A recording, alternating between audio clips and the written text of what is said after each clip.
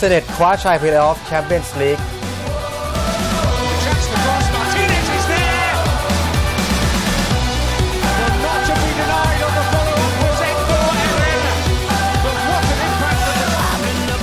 ตูเนสซัดชัยบุรีรัมย์บุกเชือดเมืองทอง 1 ประตูต่อศูนย์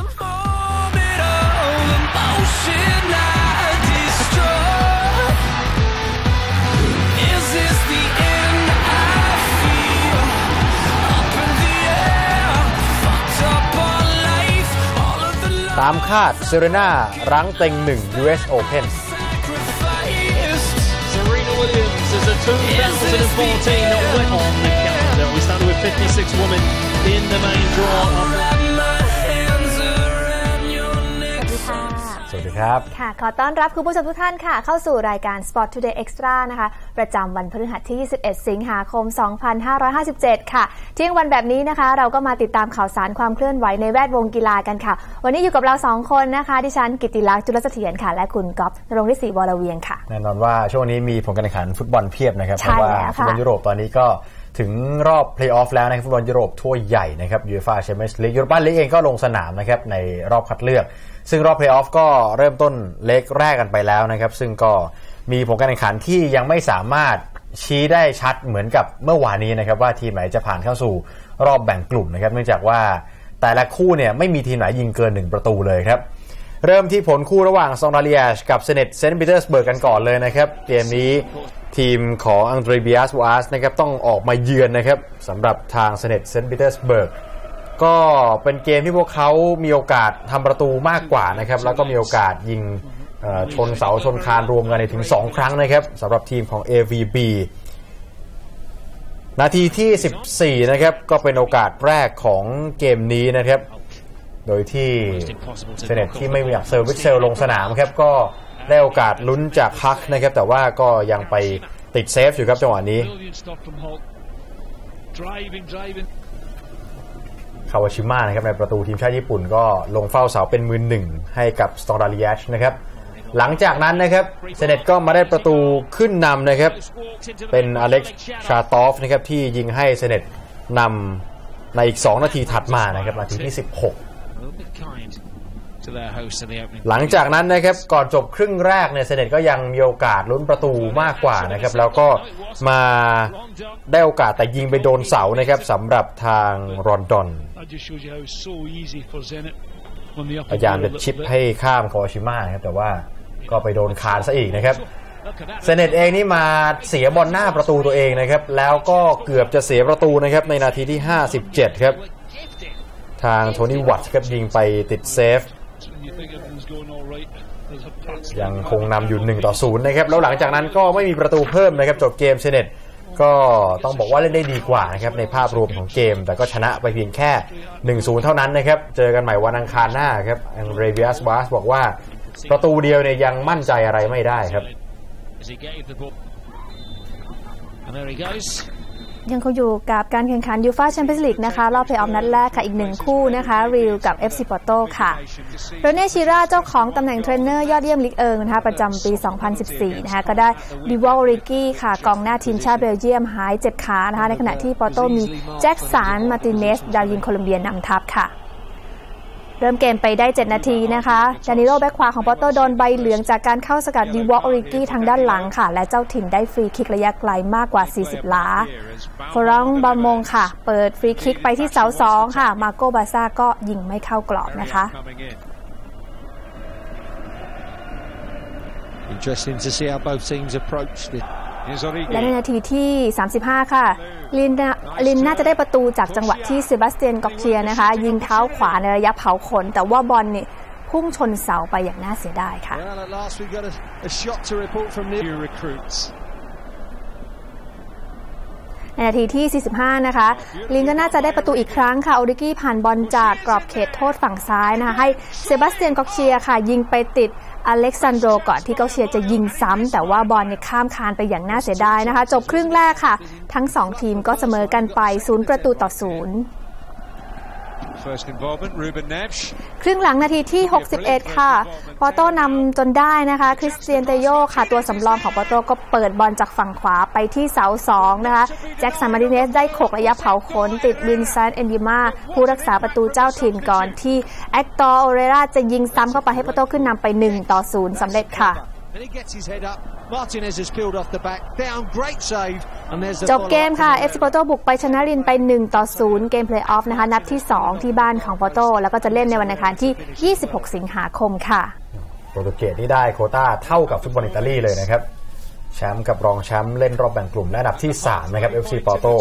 มาเล่นรอบเพลย์ออฟนะครับนัดที่ 2 ถือว่าได้เปรียบเยอะนะครับ ได้ประตูนำแล้วภาพรวมเกมนัดแรกก็ถือว่าเล่นได้ดีกว่าลีลล์นะครับ ส่วนอีก 3 คู่ที่เหลือนะครับ AAB ก็เสมอกับอาโปเอลนะครับ1ต่อ1สโลวานบราติสลาวากับบาเต้บอริซอฟสกอร์ก็เท่ากันเลยนะครับ1ต่อ1เช่นเดียวกับคู่มาริบอร์กับเซลติกนะครับก็ทำให้นัดที่2เนี่ยทีมไม่ได้เปรียบทั้ง 3 คู่นี้เนี่ยก็เป็นทีมเยือนนะครับที่ลงสนามใน leg แรกเนื่องจากว่าได้ away goal ไป 1 ประตู ในส่วนของฟุตบอลยุโรปนี่ก็ลงแข่งขันในรอบคัดเลือกครับ เอเชียเราก็แข่งขันเหมือนกันนะครับ AFC Champions League รอบ 8 ทีมสุดท้ายนัดแรกนะครับเวสเทิร์นซิดนีย์ทีมจากออสเตรเลียนะครับก็ถือว่าผลงานดีครับเล่นในบ้านเเจอกับกวางโจวเอเวอร์แกรนด์นะครับผลปรากฏว่าเริ่มต้นมานะครับ 19 นาทีกวางโจวนั้นมีโอกาสก่อนนะครับจากอัลบาโตจิลาดิโนนะครับนี่เป็นอดีตศูนย์หน้าทีมชาติอิตาลีเลยนะครับ เล่นอยู่ที่จีนนะครับช่วงนี้ หลังจากนั้นนะครับนาที 45กวางโจวก็ได้ลุ้นอีกครั้งนะครับ เลี่ยวหลี่เซิงนะครับยิงไปลูกนี้ก็ยังไปติดอันเต้โควิชนะครับครึ่งแรกใน0 0นะครับครึ่งหลังนาที 60 เป็นเวสเทิร์นซิดนีย์นะครับที่ได้ประตูขึ้นนำครับจากการทำประตูของโทมี่ยูริชครับ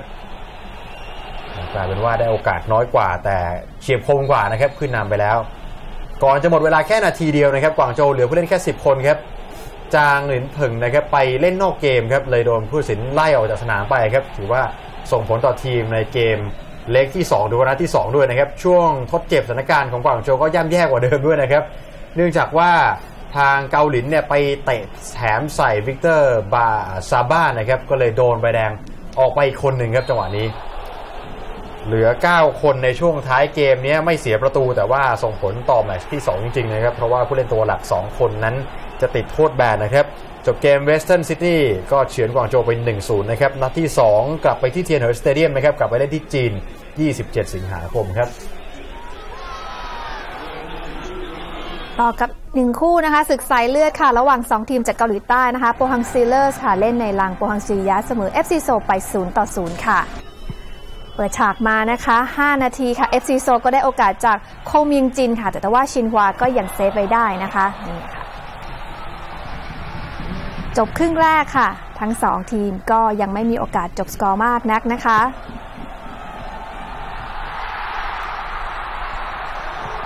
ครึ่งนาทีที่ 62 ค่ะ โปฮังสตีลเลอร์ลุ้นประตูจากการโขกของคิมกวางซุกค่ะ ทว่าบอลก็ข้ามคานไปนะคะ นาทีที่ 77 FC โซลตอบโต้บ้างจากลูกยิงของโคกวางมิน แต่ว่าถูกบล็อกเอาไว้ได้ค่ะ ช่วงทดเวลาบาดเจ็บนะคะ พักซันจูค่ะ มีโอกาสทำประตูให้โปฮังสตีลเลอร์ทว่าบอลยังไม่ตรงกรอบนะคะนั่นเป็นเรื่องของฟุตบอลยุโรปแล้วก็ฟุตบอลเอเชียนะครับแต่ว่าที่บ้านเราก็ถือว่าขับเคี่ยวกันสนุกครับโดยเฉพาะเกมกลางสัปดาห์เมื่อวานนี้เนี่ยบรรดาทีมลุ้นแชมป์ก็ลงสนามนะครับ ทั้งบุรีรัมย์ทั้งเมืองทองรวมไปถึงชลบุรีนะครับ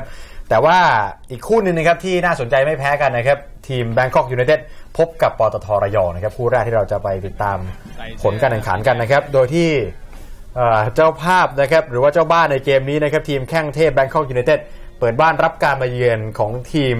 พลังเพลิงนะครับปตทระยองครับโดยที่มี 11 ผู้เล่นของทั้งสองทีมที่ลงสนามในนัดนี้ในแบงคอกนั้น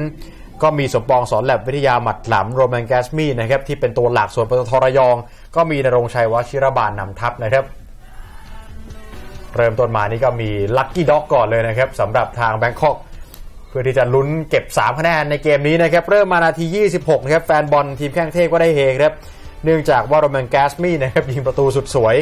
บอลย้อยเข้าสามเหลี่ยมเสาไกลไปนะครับ ยิงประมาณ 20 หลา สวยจริง ๆ นะครับแบงคอกเล่นดีกว่าแล้วก็ขึ้นนำก่อนนะครับ1ต่อ0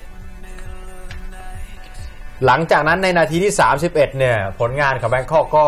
ดีขึ้นอีกนะครับ เมื่อมาได้ประตูที่ 2 จากลูกเตะมุมนะครับ วิชยาเดชมิตรเปิดมานะครับที่เสาแรก สมปองสอแลบโฉบมาหม่งลูกนี้เข้าไปครับ ขึ้นนำ2ประตูต่อศูนย์แล้วนะครับสำหรับแบงคอกครึ่งแรกเนี่ยนำถึง 2-0 นะครับแบงคอกแต่ว่าครึ่งหลังนี่ต้องชมปตทระยองนะครับที่ใจสู้จริง ๆ นะครับ แล้วก็วางแผนปิดเกมรุกของแบงคอกได้ครับ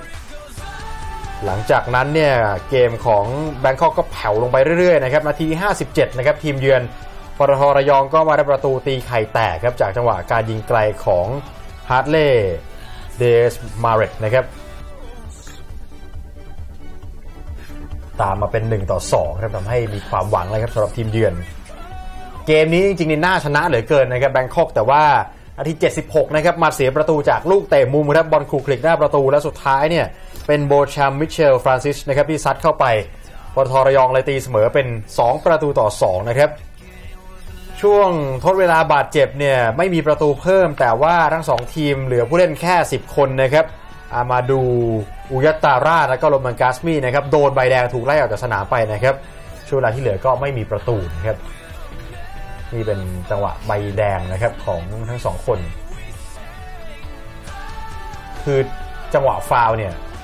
ไม่ใช่จังหวะที่ผู้ตัดสินแจกใบแดงนะครับ แต่ว่าจังหวะตุกติกต่อเนื่องมานี่แหละครับและการมีปากเสียงการทำให้ผู้ตัดสินตัดสินใจไล่ออกนะครับทั้งสองทีม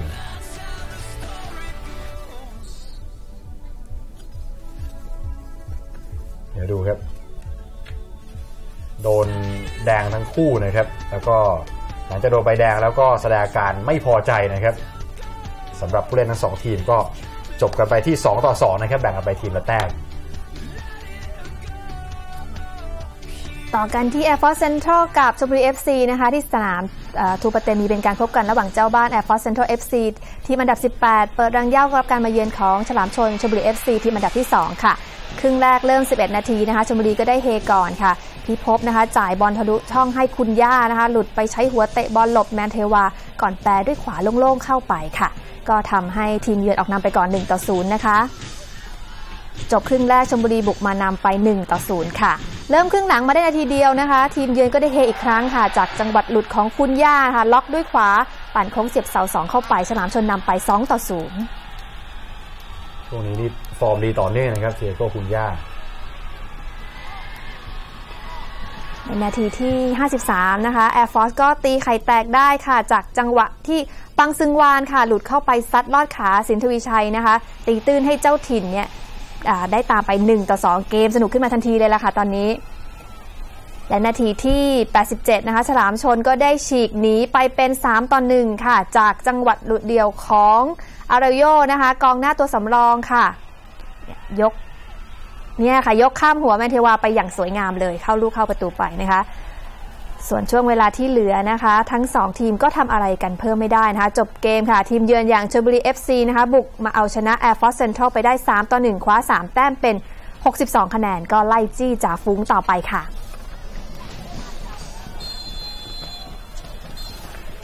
ก็เป็น 3 คะแนนเต็มที่มีค่าสำหรับชลบุรีนะครับ เนื่องจากว่าอีกคู่หนึ่งนะครับ ทีมลุ้นแชมป์อีก 2 ทีม เจอกันเองนะครับบุรีรัมย์บุกไปเยือน SCG เมืองทองยูไนเต็ดนะครับเป็นเกม super big match นะครับเล่นบ้านเมืองทองนะครับเมืองทองนั้นอยู่อันดับที่3นะครับมี 58 แต้ม เจอกับบุรีรัมย์จ่าฝูงนะครับที่มี 62 คะแนนนะครับก็ถ้าเมืองทองชนะได้นี่ก็จะมีคะแนนตามหลังแค่คะแนนเดียวเท่านั้นนะครับเริ่มมาบุรีรัมย์เกือบจะได้ประตูขึ้นนำนะครับแต่จังหวะที่อดิศักดิ์โยกออกถึงเส้นแล้วเปิดมาครับมันเป็นปาติโยโขลูกนี้หลุดเสาไกลไปนิดเดียว เมืองทองที่ ได้โอกาสครองบอลมากกว่านะครับ แต่ว่านาทีที่ 34 ครับจังหวะโต้กลับเร็วครับจักรพันธ์ครับปั๊มบอลมาได้แล้วก็พอพาบอลเข้ามาจี้เข้าหากรอบเขตโทษของเมืองทองครับก่อนจะเปิดเข้าไปตรงกลางนะครับ แล้วก็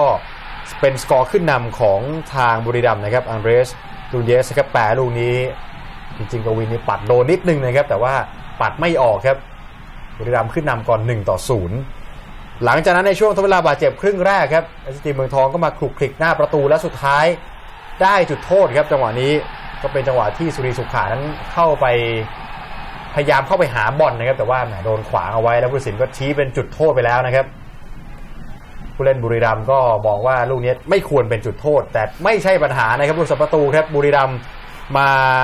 ได้เซฟของศิวรักษ์เทศสูงเนินนะครับที่เซฟลูกยิงของคริสตันซิลวาไว้ได้ครับทำให้ เมืองทองยังตีเสมอไม่ได้นะครับ หลังจากนั้นนะครับนาทีที่ 58 บุรีรัมย์ก็เหลือ 10 คนนะครับธีรทรบุญมาทันที่โดนใบเหลืองไปแล้วเนี่ยไปหวดใส่เปียพลบรรเทานะครับผู้ตัดสินเลยแจกใบเหลืองที่2นะครับโดนใบแดงถูกไล่ออกจากสนามไปครับ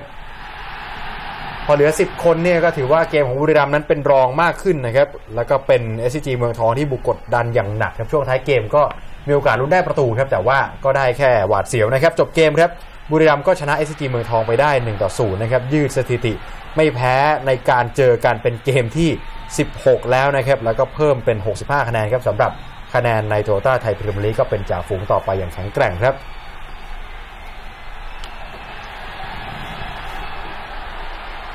มาดูผลการแข่งขันของคู่อื่นๆเมื่อวานนี้กันบ้างนะคะ ชัยนาทฮอร์นบิลค่ะ ก็เอาชนะบางกอกกล๊าส FC ไปได้ 3 ต่อ 2 นะคะ ส่วนการพบกันระหว่างสิงห์ท่าเรือกับสงขลายูไนเต็ดนะคะ ก็สิงห์ท่าเรือเอาชนะไป 2 ต่อ 1 ค่ะ อาร์มี่ยูไนเต็ดก็พ่ายต่อสุพรรณบุรี FC ไป 0 ต่อ 4 ค่ะ แล้วก็ GSE สมุทรสงคราม FC นะคะ พบกับศรีสะเกษ FC ค่ะ ก่อนที่ GSE ก็พ่ายแพ้ไป 0 ต่อ 1 ค่ะ TOTSC ค่ะ เอาชนะ BEC เทโรศาสนไป แล้วก็เพื่อนตำรวจค่ะ ก็พ่ายต่อราชบุรีมิตรผล FC ไปค่ะ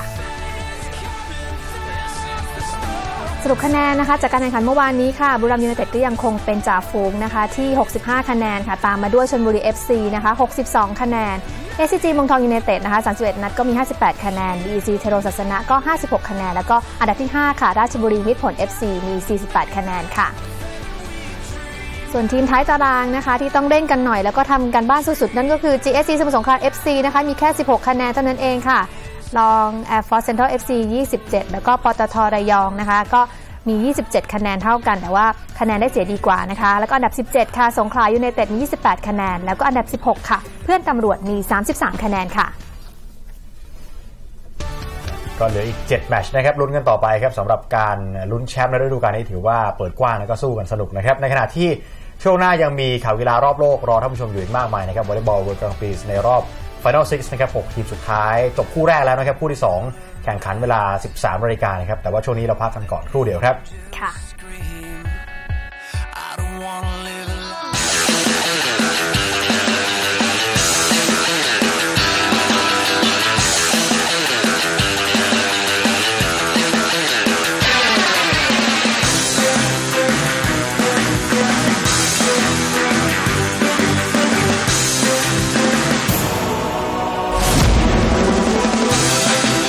ดีที่สุดไม่มีที่สิ้นสุด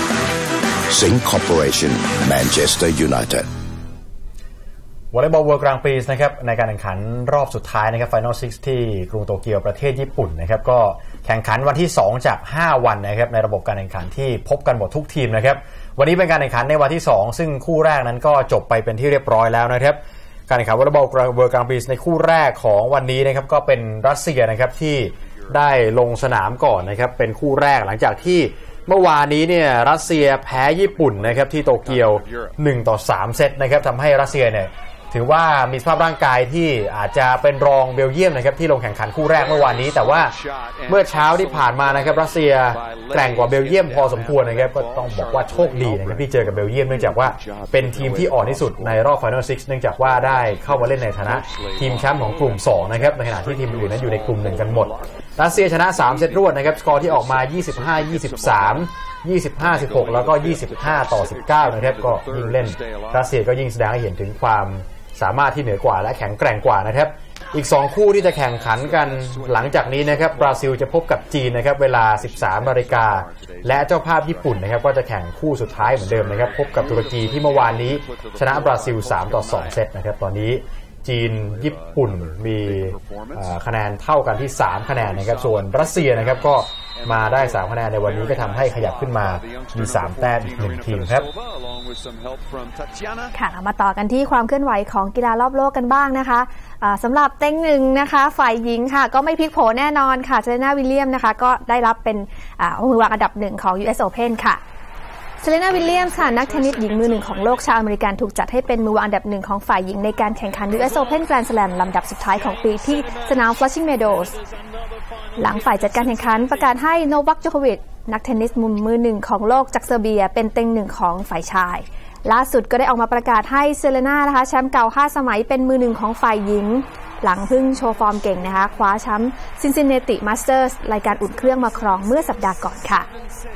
ส่วนซิมนาฮาเลฟค่ะ นักเทนนิสสาวจากโรมาเนียนะคะ ที่ปีนี้ฟอร์มร้อนค่ะ คว้ารองแชมป์ French Open นะคะ ถูกจัดให้เป็นมือสองของรายการ ส่วนทางด้านของมาเรียชราโปวานะคะ แชมป์ปี 2006 จากอารัสเซียค่ะ ก็ถูกจัดให้เป็นมืออันดับ 5 ของรายการ US Open นะคะจัดอันดับมือวางชาย แล้วก็หญิงเป็นที่เรียบร้อยแล้วนะคะ และวันนี้ค่ะจะมีการจับสลากแบ่งสายนะคะ คือพฤหัสนี้ก็คือวันนี้เองก่อนจะเริ่มทำการแข่งขันในวันแรกคือวันที่ 25 สิงหาคมตามเวลาท้องถิ่นค่ะ Intriguing WTA action. ในขณะที่เรื่องของศึก F1 นะครับรัสเซียนี่ก็ลุ้นอยู่นะครับว่าจะได้จัดการแข่งขันต่อหรือเปล่านะครับล่าสุดนี่สหพันธ์ยานยนต์นานาชาติหรือว่า FIA นะครับก็อนุมัติให้รัสเซียเป็นเจ้าภาพจัดการแข่งขัน Russian Grand Prix ครับในระหว่างวันที่ 10 ถึง 12 ตุลาคมนี้ต่อไปตามเดิมนะครับหลังจากที่ผ่านการตรวจสอบด้านความปลอดภัยเป็นที่เรียบร้อยแล้วนะครับ โดยที่ FIA ก็ได้ส่งชาลีไวทิงนะครับผู้อำนวยการฝ่ายจัดการแข่งขัน และผู้ดูแลด้านความปลอดภัยของฟอร์มูล่าวัน ลงพื้นที่ตรวจสอบความเรียบร้อยนะครับ ทั้งในและนอกสนามโซชิออโตโดรมนะครับจากการตรวจสอบนะครับทางไวทิงลงความเห็นบอกว่าสนามแข่งขัน และอาคารควบคุมอยู่ในสภาพที่สมบูรณ์ปลอดภัย และทันสมัยมากนะครับ ดังนั้นจึงสรุปได้ว่าสนามแห่งนี้พร้อมสำหรับการแข่งขันในอีก 60 วันข้างหน้าแน่นอนนะครับ ในขณะที่ประธานจัดการแข่งขันรัสเซนกลางปีนะครับเซอร์จีโวโรบาเยฟนะครับก็เปิดเผยว่าพวกเขาเตรียมความพร้อมทุกด้านนะครับเพื่อให้ FIA ได้เข้ามาตรวจสอบครับจึงรู้สึกดีใจแล้วก็มีความสุขที่ได้จัดการแข่งขันต่อไปนะครับเป้าหมายของฝ่ายจัดการแข่งขันก็คือ จะอำนวยความสะดวกต่อผู้ชมทุกคนอย่างเต็มที่ครับเพื่อให้ได้รับความประทับใจอย่างไม่รู้ลืม อย่างไรก็ตามนะครับสาเหตุที่ FIA นั้นต้องส่งเจ้าหน้าที่ไปตรวจสอบความปลอดภัยที่สนามโซชิ ออโตโดรมก็เนื่องจากว่าการที่นักการเมืองหลายฝ่ายของรัสเซียได้เรียกร้องให้เลื่อนการแข่งขันออกไปนะครับหลังจากที่เกิดเหตุเครื่องบินมาเลเซียแอร์ไลน์เที่ยวบิน MH-17 ถูกยิงตก ซึ่งห่างจากสนามเพียงแค่ 335 ไมล์เท่านั้นครับ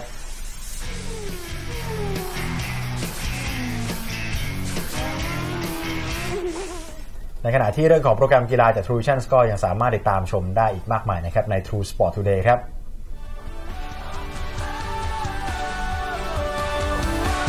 เรื่องของวอลเลย์บอล World Grand Prix 2014 นะครับ วันนี้นอกเหนือจากคู่ที่จบไปแล้วนะครับ ก็มีเกมระหว่างบราซิลกับจีนนะครับ และญี่ปุ่นกับตุรกีนะครับ ที่จะลงสนามกันในช่วงเวลา 13นาฬิกาและ 17นาฬิกานะครับ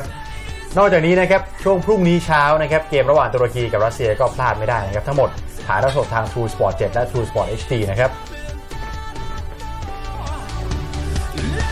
ส่วนบาสเกตบอลหญิง WNBA นะครับ ก็มีเกมระหว่างมินนิโซตากับซานอันโตนิโอนะครับเกมแรก8โมงเช้านะครับในรอบเพลย์ออฟ True Sport 3และ True Sport HD 3ครับ ส่วนเทนนิส WTA ทัวร์นะครับ Connecticut Open นะครับในรอบ 8 คนสุดท้าย เที่ยงคืนและ 6 โมงเช้านะครับ ชม 2 ช่วงเวลาทาง True Series HD ครับกอล์ฟ PGA ทัวร์นะครับ The Barclays รอบแรก ก็เริ่มต้นทำการแข่งขันกันช่วงเวลาตีหนึ่งนะครับ True Sport 5 และ True Sport HD ส่วนกอล์ฟ European Tour นะครับ Czech Masters รอบแรก 2 ช่วงเวลานะครับ 16นาฬิกาและ 2 ทุ่มตรงทางกอล์ฟช n แนลครับ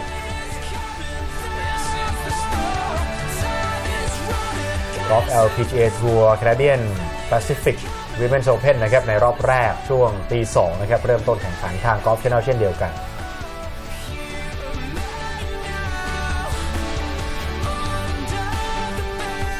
ทุกท่านก็สามารถติดตามตารางการถ่ายทอดสดนะคะ รวมถึง